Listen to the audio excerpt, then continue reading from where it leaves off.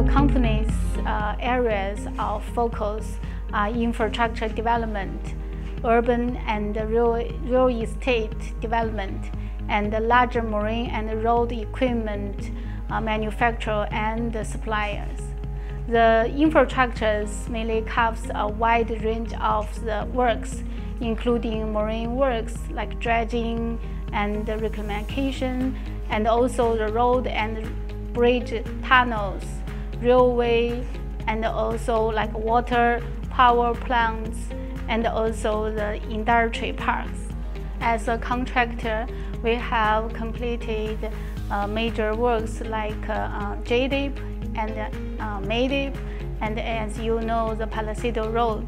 But as a major investment, it should be the North and South Highway, which is valued at 730 million US dollar. Our experience with implementations of these projects are very positive, and we can see the, the government, including the ministries and agencies and all the departments are very helpful. And also we notice that the society is very open-minded.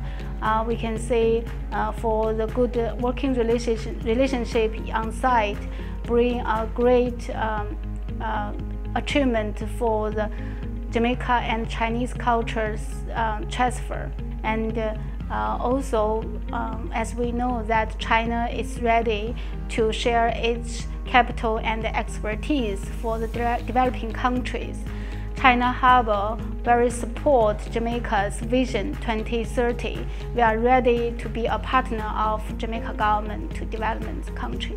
I'm Zhimin Hu, Vice President of China Harbour Engineering Company Americans Division. Of course, I will be at JIF 2018.